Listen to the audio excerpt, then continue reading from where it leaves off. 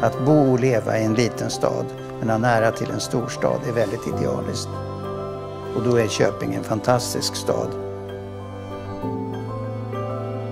Lugnet, slippa köerna, badhus, strubba hög.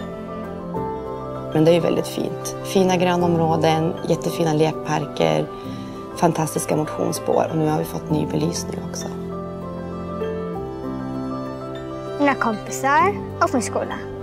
På skolan brukar vi hoppa hinder, badhuset och leka med såna här simsaker.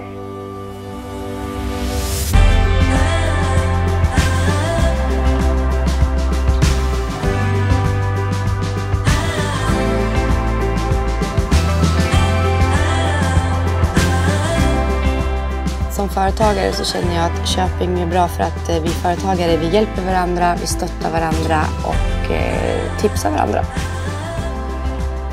Jag tycker att det är skönt med en liten stad där det är nära till allting och det är bra gemenskap och eh, allt man behöver, det finns här.